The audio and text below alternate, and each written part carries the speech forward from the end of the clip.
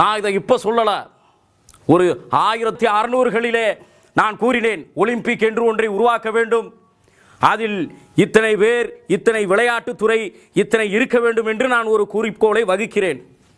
இதற்கு வேறு யாருமே செவி சாய்க்கவில்லை.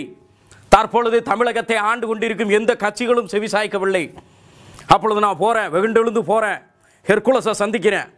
அந்த சைடு அட்லஸு நடுவில் பார்த்தீங்கன்னா அப்படியே போகிறானுங்க முந்நூறு படை வீரர்களும் போகிறானுங்க யார்?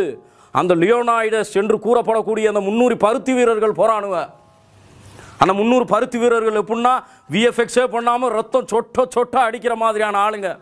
மூணு பேர் இந்த பக்கத்து அவனுக்கு ஏறுறானுவ இப்படி படுறானு நான் நடுவில் நிற்கிறேன் அப்பொழுது அவனை பார்த்து கேட்டேன். நான் ஒரு வார்த்தை கேட்டேன். நான் ஒலிம்பிக்கு நடத்தவில்லை. நீயே நடத்திக்கோ.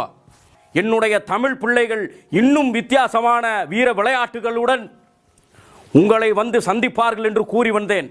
நான் சொன்னதை கேட்டு அவன் இந்தியா பக்கமே அவர்களை ஓடி